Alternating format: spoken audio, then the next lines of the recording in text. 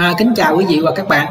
Tiếp theo khóa học hướng dẫn sử dụng phần mềm Miro Tyson V7 cho các anh chị tại viên môi trường nha.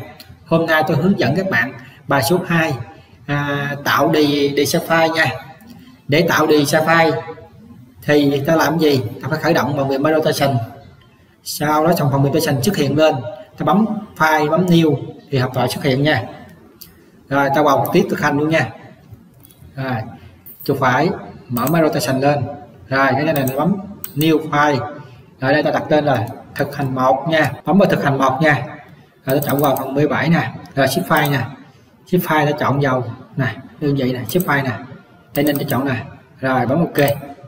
Ok, ta tự động tạo một file mới nè. Hoặc là ta vào vào file nè. Rồi, ta bấm new cũng được nè, cũng tạo rồi nè. Có nhiều cách chúng ta làm như các bạn. Rồi, cảm ơn các bạn đã nghe. Chúc các bạn thực hành thành công nha.